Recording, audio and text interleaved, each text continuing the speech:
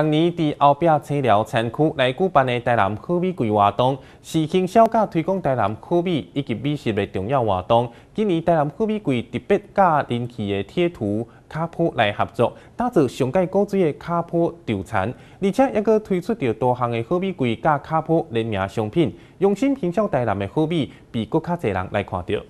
台南后壁是全台湾上大稻米产区，后壁推广着在地美食甲稻米传统文化。每年拢会举办台南好米季活动，今年是甲人气铁图卡波合作联名来推出卡波彩绘稻餐，各有美食文化 DIY 体验，相当丰富活动。我们今年呢，特地跟我们的卡波团队哈，也就是我们知名赖贴图的毛毛虫卡波团队呢，来合作我们的整个彩绘稻田的田区以及我们相关的联名品。那卡波团队哦也非常认同哈，说哈跟我们合作那个农产品可以帮助农人来销售，所以他根据我们金鸟农村这边的特色哈，打造出我们独一无二的卡波稻田啊，例如我们的农夫卡波，那我们插秧小鸡以及放锅狗狗的部分哦，都是非常吸引了年轻人的。那我们十月八号已经进行开幕式，但我们后续活动呢？还有进行到十月二十三号，那每个周末假日呢，我们都有免费的 DIY 活动，例如进行我们的月光米饭卷，或者是那个可爱昂菇棍哈，都是我们结合我们在地米食的活动。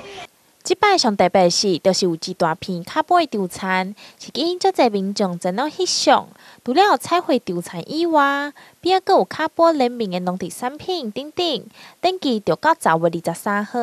每礼拜拢有无界活动内容，欢迎民众做伙来到后壁佚佗。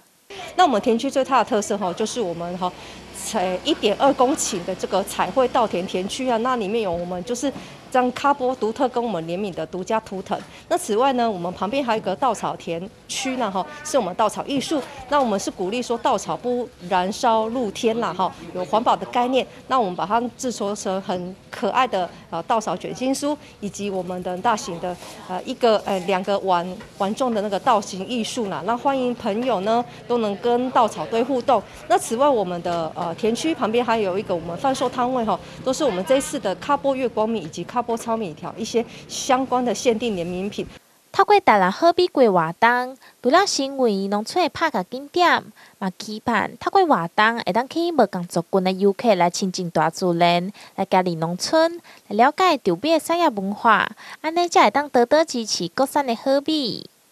记者钟慧后壁区彩虹报道。